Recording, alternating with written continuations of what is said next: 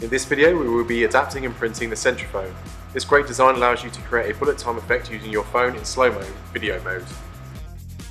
This is an open source project created by Swiss freeskier Nicolas Vuignier. You can find links for this project in the description below. First we needed to adapt the size of the Centriphone. We scaled it evenly in the X and Y axis to accommodate the iPhone 5S. Now that that's scaled, we're ready to go to printing.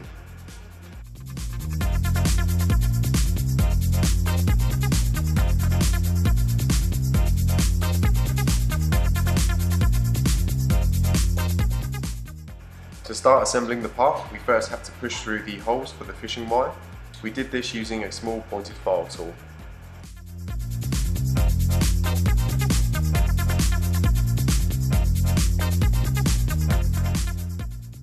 Next we added our fishing wire. We used a specialised fishing knot to tie the wire. You can find a link to a video demonstrating this knot in the description below. Once all the wires are attached, we needed to now level the Centriphone. Adjusting the length of the wires until it was level and then tying the three wires in a knot.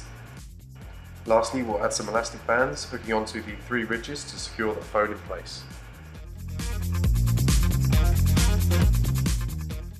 And now we're ready to test it out.